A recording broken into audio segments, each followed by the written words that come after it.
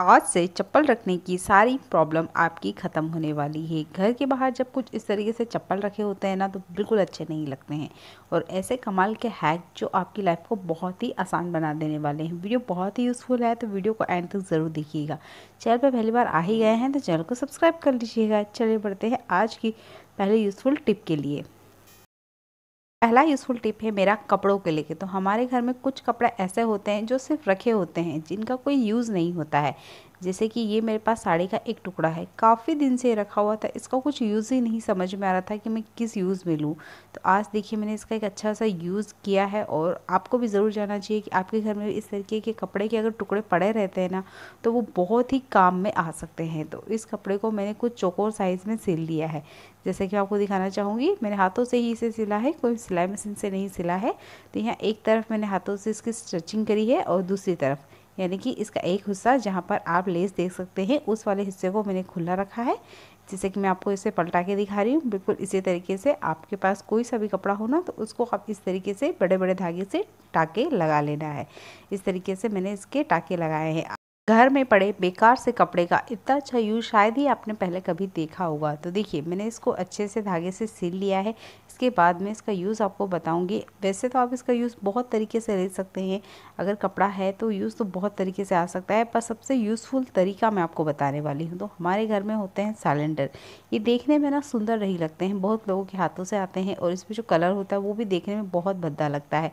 तो इसको अच्छा सा सुंदर कैसे बनाए? यानी कि ये कहीं रखा रहे और पता तक ना चले कि सिलेंडर है तो इसके लिए आप घर में पड़े हुए बेकार कपड़ों का यूज़ कर सकते हैं और देखिए, इसका अच्छे से ना कवर बन गया है। ये परमानेंट मैंने बना के रेडी किया है। जब भी मेरे घर सिलेंडर आता है तो मैं इस कपड़े को डाल देती हूँ और ये देखने में काफ़ी अच्छा लगता है।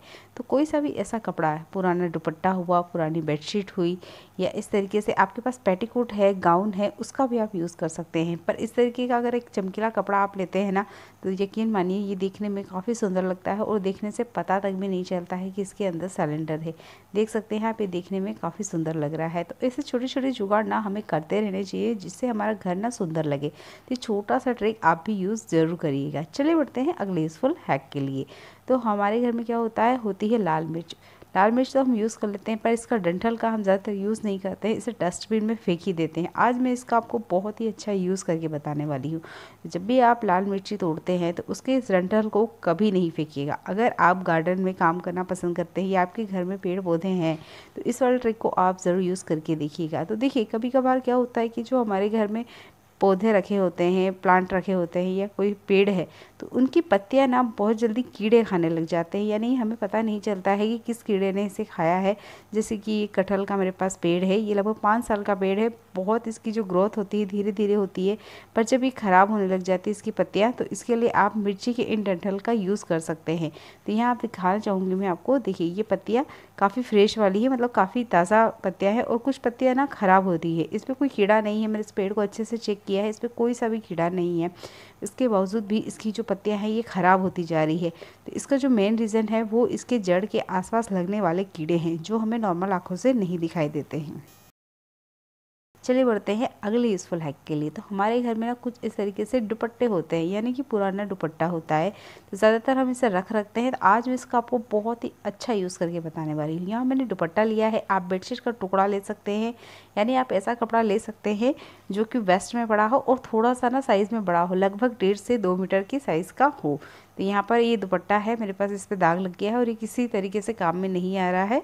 इसका मैं कुछ और बनाऊँगी पर फ़िलहाल मेरा, मेरे पास एक साड़ी भी है। यानी कि आप साड़ी का भी यूज़ कर सकते हैं, जो आज हम साड़ी का यूज़ करके एक सुपर वाला ऑर्गेनाइज़र बना के रेडी करने वाले हैं। तो कुछ इस तरीके से हमने साड़ी को कट कर लेना है, यानी लगभग दो मीटर के आसपास मैंने कपड़ा लिया है, और इस कपड़े को आप देख सकते हैं, काफ़ी लंबी साइज़ का है। आप इसे और घटा बढ़ा सकते हैं तो जितना बड़ा मुझे ऑर्गेनाइज़र बनाना है, उसके लिए लगभग मैंने यहाँ डेढ़ मीटर की साड़ी का टुकड़ा लिया है। तो इस तरीके से हमने इसको फोल्ड कर लेना है बढ़िया से। जैसे कि मैं कर रही हूँ, बिल्कुल आपने स्टेप बाय स्टेप इसको ऐसे ही बनाना है।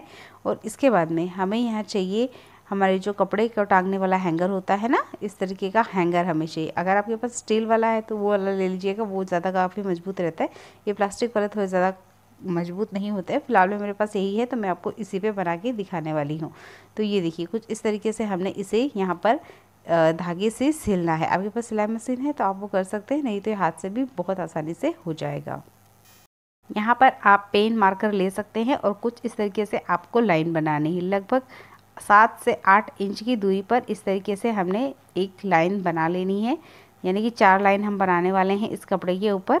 तो इस तरीके से हमने इसके चार सेक्शन बनाने हैं और सुई धागे की मदद से हमने बड़ा बड़ा टाका लगा के इसे सील लेना है। और देखिए, ये बहुत अच्छा ना ऑर्गेनाइज़र बन के रेडी हो गया है।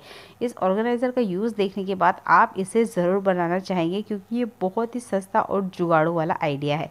तो इसका मैं यूज़ करने वाली हूँ यहाँ एक सू स्टैंड की तरह। सुन के आपको अजीब लग रहा होगा कि एक कपड़े में सू स्टैंड कैसे बन सकता है। तो देखिए, यहाँ पर मेरे पास है सैंडल और मैं सैंडल को आपको रख के भी दिखाने वाली हूँ। ये देखिए यहाँ पर जो हमने थोड़ी थोड़ी गेप में इनकी सिलाई करी थी, उसमें आराम से आपकी जो सैंडल है, ये आ जाएगी।